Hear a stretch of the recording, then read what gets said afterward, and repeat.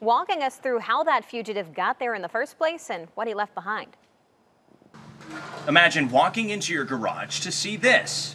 Someone running from the police trying to escape through the attic, the person busting through the drywall, and then caught by the neighbor hanging from the ceiling.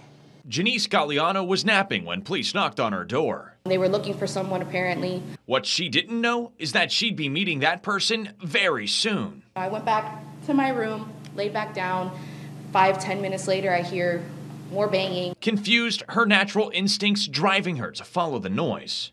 Noise started to get closer and closer and louder.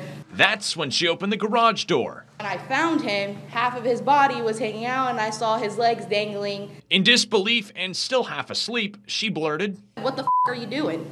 The man on the run from police telling her he's sorry and broke through the drywall in the attic dividing the duplex. So you broke it from the other side. Is that supposed to make me feel better? Is that supposed to just excuse what you're doing right now? I don't know. The felon then slipping back into the hot, dark attic. He just pulled the door closed and then just went about his his, his way. That was it.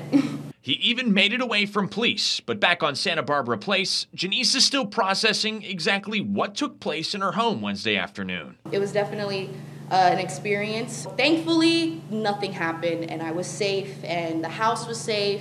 You know, no one got hurt. And that image of the man hanging from the ceiling is stuck in her mind, and so is this thought. Uh, you know, what are you doing? After our interview with Janice, we walked outside to see this posted on the neighbor's door an eviction notice. Janice's landlord giving her neighbor 15 days to pack up and move out. Janice tells me that her landlord does plan on coming back to patch this wall up, but the suspect police came here to arrest in the first place is still on the run tonight.